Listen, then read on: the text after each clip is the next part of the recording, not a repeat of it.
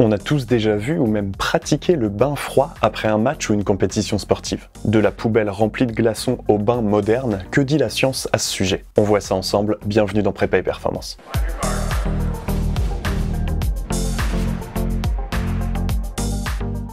Je vous en parlais lors d'une précédente vidéo, mais la récupération est l'un des sujets extrêmement investigués ces dernières années dans les sciences du sport. Et pour cause, optimiser la récupération, c'est à la fois participer à l'amélioration de la performance et à la prévention des blessures. Et bien entendu, que l'on soit athlète de très haut niveau ou sportif amateur, on a tous envie de récupérer plus rapidement pour retourner plus vite à l'entraînement. Le froid est un sujet qui intéresse plus particulièrement car il a déjà fait ses preuves dans le domaine médical. On retrouve notamment de plus en plus de protocoles de cryothérapie à destination de certains types de maladies. Mais aujourd'hui, nous allons nous intéresser plus spécifiquement au bain froid. Le bain froid est une méthode qui fait partie des stratégies d'hydrothérapie, c'est-à-dire la récupération par l'immersion. On peut également y trouver les logiques de bain chaud ou alternance chaud-froid. Aujourd'hui et cette saison, nous ne parlerons que de l'immersion en eau froide. Pour parler de ce sujet, nous avons le plaisir d'avoir à disposition un modèle moderne commercialisé par la marque Jolt. Il s'agit du système Ice Bath. Et même si je suis particulièrement frileux, je remercie la marque Jolt de nous avoir fait parvenir un échantillon presse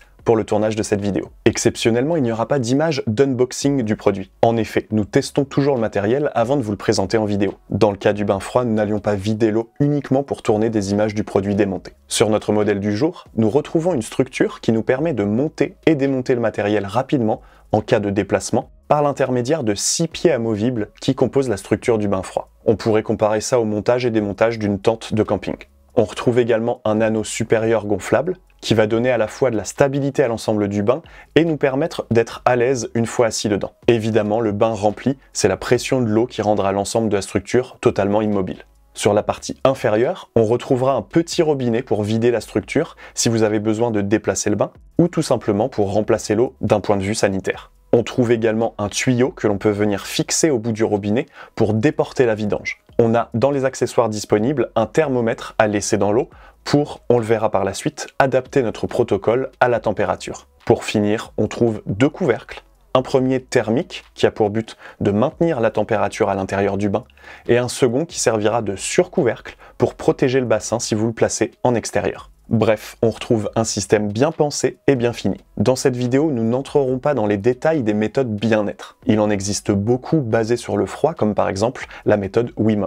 Si celle-ci n'est certainement pas sans intérêt, elle est cependant très radicale, et donc pas à la portée de tout un chacun. Ici, nous allons plutôt nous porter sur une mise en place simple du bain froid dans un but de récupération sportive. On évitera également d'entrer dans des débats passionnés. Contrairement aux caricatures que l'on peut trouver sur le sujet, il n'est pas absolument nécessaire de remplir son bain de glace pour avoir des bénéfices en termes de récupération. En dessous de 15 degrés, on considérera déjà l'eau comme froide, et donc suffisante à la mise en place d'un protocole. Le facteur déterminant deviendra alors le temps d'immersion. Une méthode assez simple à garder en tête est de s'immerger autant de temps qu'est élevée la température. C'est-à-dire que pour une eau à 11 degrés, on y restera 11 minutes. Pour une eau à 15 degrés, vous aurez compris la gymnastique, ce sera un quart d'heure. En termes d'intérêt, on constate une amélioration de la récupération de façon aiguë, c'est-à-dire à court terme, après un effort intense. Bien évidemment, on pense immédiatement par ce type d'intérêt à la possibilité d'augmenter la charge d'entraînement lors de cycles de développement, et ainsi potentiellement stimuler de plus grandes adaptations physiologiques. Également, vous l'aurez compris précédemment, une eau à 15 degrés est suffisante pour de la récupération à court et moyen terme. On constate des bénéfices importants chez les sportifs qui réalisent ces méthodes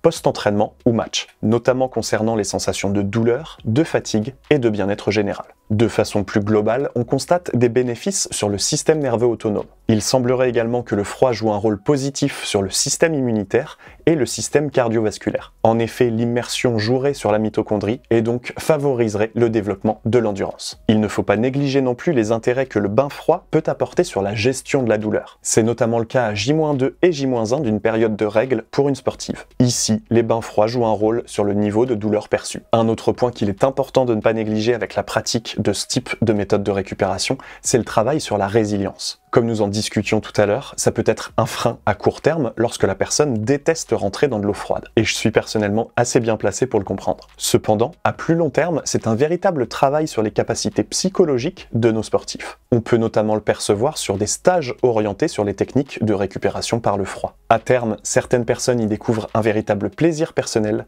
et une force de détermination supplémentaire. Enfin, comme bien souvent avec les sciences du sport, nous ne sommes qu'au balbutiement de la compréhension des phénomènes qui sous-tendent la récupération par le froid. Ainsi, on n'en sait encore que très peu, notamment concernant les protocoles chroniques à long terme. Cependant, les connaissances actuelles laissent à penser que son utilisation en saison et en compétition est intéressante. Attention cependant, on constate également des limites importantes à ces méthodes de récupération, notamment s'agissant d'objectifs d'hypertrophie musculaire. En effet, dans ce type de méthode où l'objectif est de faire réagir le corps à un processus inflammatoire, utiliser le bain froid va stopper les adaptations. Nous limiterons donc les résultats escomptés. Ainsi, il peut être intéressant de ne pas utiliser ces méthodes de récupération durant un cycle de développement hypertrophique. Pour en revenir à notre matériel du jour, on peut mettre en avant beaucoup de points positifs sur ce modèle de bassin. Tout d'abord, d'un point de vue des dimensions, j'ai été assez surpris à la réception du colis de voir que le tout tenait dans un si petit carton. À ce moment-là, j'ai eu peur à un bassin pour Playmobil. Au final, même pour de grands gabarits, on peut y rentrer et être à l'aise.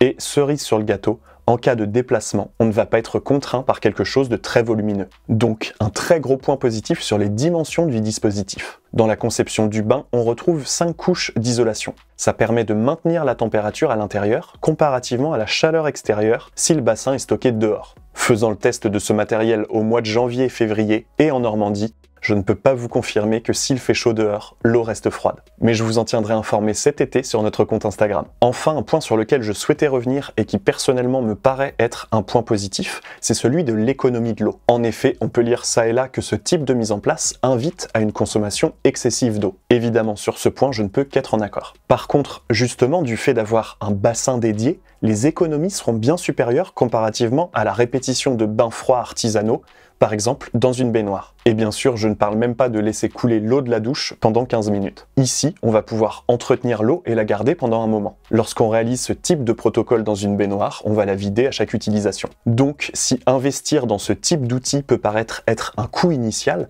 les économies financières et écologiques se feront, de mon point de vue, assez rapidement. Bien évidemment, les détracteurs pourront tout simplement me dire de ne pas utiliser ces méthodes, mais c'est un autre débat. En point négatif, on pourrait parler de la qualité des accessoires, à savoir le thermomètre ainsi que la pompe pour gonfler le boudin supérieur du bassin. En effet, c'est en plastique très souple et j'imagine que ça ne supportera pas beaucoup de voyages intenses. Mais encore une fois, ce sont des accessoires additionnels qui ont déjà le mérite de faire partie du package complet. En conclusion, l'utilisation de bains froids dans une stratégie de récupération est intéressante. Si l'on garde en tête les limites concernant l'hyper trophie musculaire, l'immersion jouera tout de même sur la récupération et la performance. Qui plus est, il n'est pas nécessaire de mettre des glaçons jusqu'à rabord pour tirer des bénéfices de ce type de pratique. Le système Ice Bath commercialisé par Jolt nous paraît donc être une solution pertinente. Le produit est bien fini et ses dimensions seront suffisantes pour la plupart des gabarits. Et on pourra au besoin le transporter en cas de compétition. Bref, on vous conseille cet outil si vous souhaitez ajouter une stratégie de récupération supplémentaire à votre arsenal. C'est tout pour aujourd'hui, j'espère que cette vidéo sur les méthodes d'hydrothérapie pourra vous être utile. Comme d'habitude, likez, commentez et partagez pour soutenir Prépa et Performance. On se retrouve très vite pour du contenu d'entraînement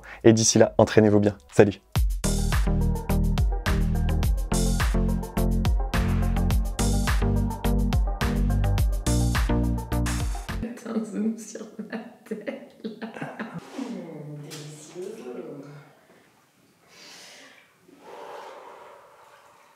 Jusqu'à la tête?